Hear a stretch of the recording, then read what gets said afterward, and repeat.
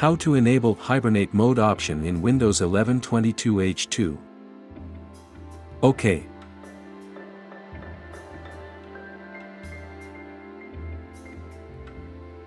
To hibernate Windows 11 when pressing the power button or closing the laptop lid, use these steps.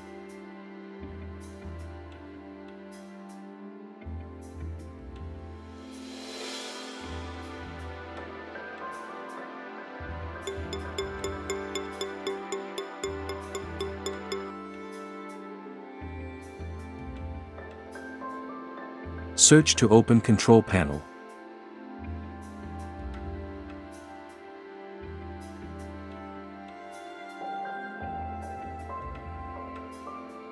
Click on Power Options.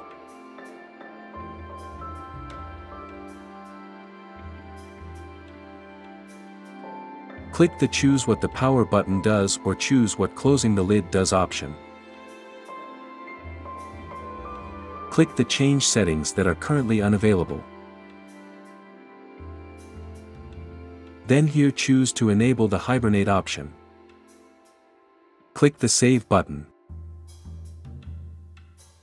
Once you complete the steps go on Start to check or the option is available now.